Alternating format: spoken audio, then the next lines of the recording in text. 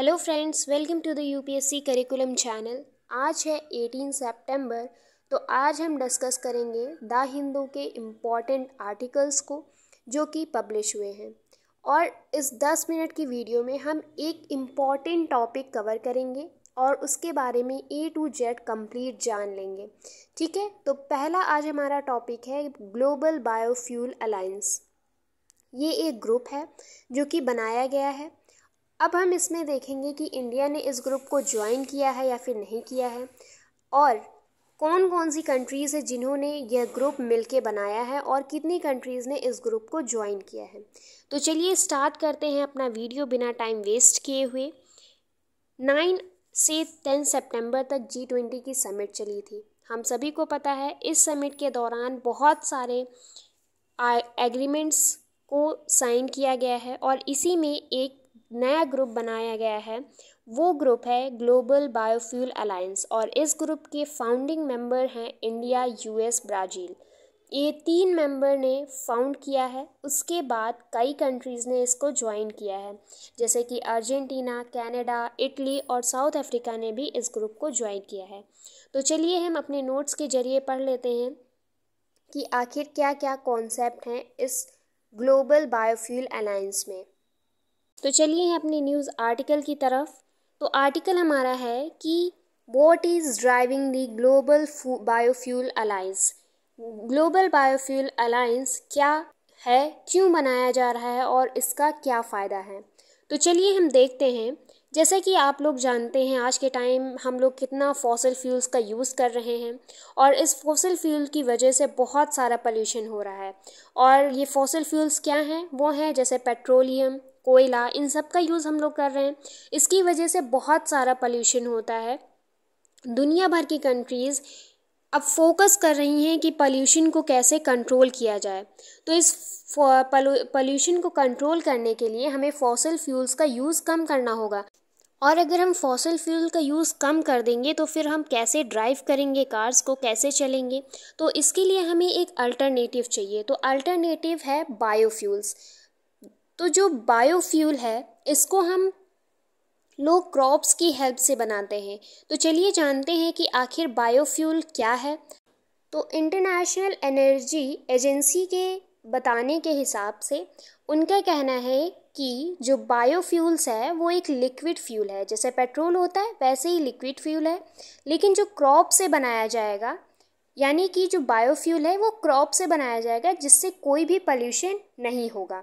तो चलिए हम अपने नोट्स के ज़रिए बात कर लेते हैं कि आखिर बायोफ्यूल्स क्या होते हैं और उसके अदर जो कैरेक्टरिस्टिक्स हैं वो क्या हैं। कोई भी हाइड्रोकार्बन फ्यूल जो कि एक ऑर्गेनिक मैटर की हेल्प से प्रोड्यूस किया जाए, कुछ महीनों में या फिर एक शॉर्ट पीरियड ऑफ़ टाइम में तो उसे हम बायोफ्यूल्स कहते हैं। तो सवाल ये है कि बायोफ्यूल का यूज़ हम कहाँ पर कर सकते हैं?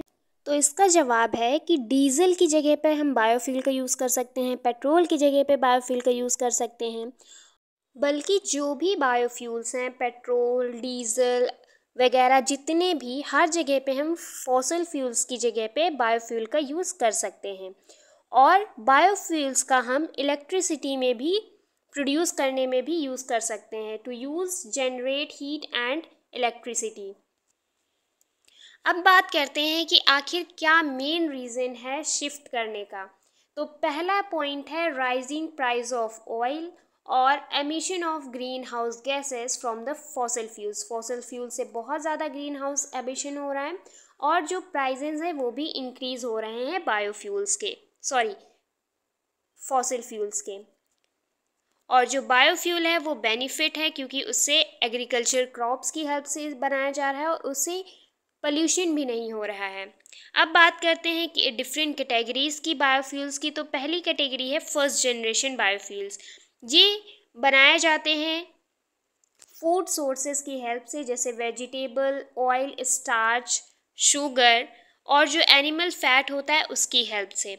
जो फ़र्स्ट जनरेशन बायोफ्यूल्स होते हैं, उनमें होता है जैसे कि बायोडीज़ल, बायोगैस बायो ईथर्स या फिर बायो एल्कोहल्स जो इसका प्रोसेस होता है कन्वर्जन का, वो बहुत इजी है, लेकिन जो यूज़ है फ़ूड रिसोर्सेज का प्रोडक्शन में क्रिएट करने के लिए, वो इम्बैलेंस कर सकता है फ़ूड इकोनॉमी में। यानी कि अगर हम फ़ूड का यूज़ बायोफ्यूल्स में भी करेंगे तो उसके लिए फ़ूड रिसोर्सेज कम पड़ सकते हैं ह्यूमन बींग्स के लिए। ये एक पॉइंट है।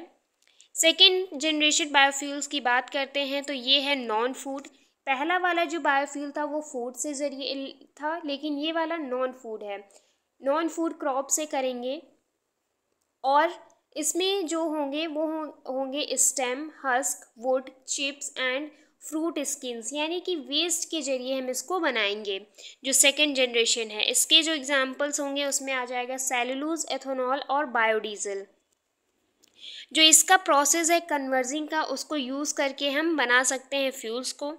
और ये हमारे फ़ूड को अफेक्ट नहीं करेगा, यानी जो फ़ूड इकोनॉमी है, उसे भी अफेक्ट नहीं करेगा।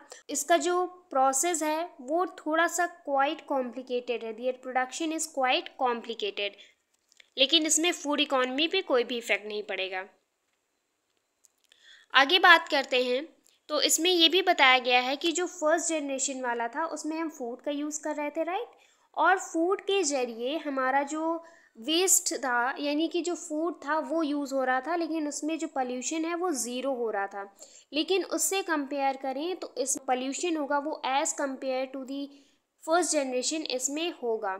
यानी कि इसमें थोड़ा सा एमिट करेगा ग्रीन हाउस गैसेस को less emit greenhouse gases as compare to the first generation biofuels third generation biofuels की बात करें तो ये प्रोड्यूस्ड होगा माइक्रो ऑर्गेनिज्म लाइक एल्गी जो एल्गी होता है उससे प्रोड्यूस किया जाएगा और जो एग्ज़ाम्पल है ब्यूटेनॉल जो माइक्रो ऑर्गेनिज्म होते हैं एल्गी वो ग्रो होते हैं लैंड पे और वाटर पे जो कि अनसुटेबल होते हैं फ़ूड प्रोडक्शन के लिए और जो इसका डिसएडवांटेज है, वो है fertilizer use in the production of such crops lead to environmental pollution इसका यूज़ से क्या होता है? इन्वायरमेंटल पोल्यूशन हो सकता है।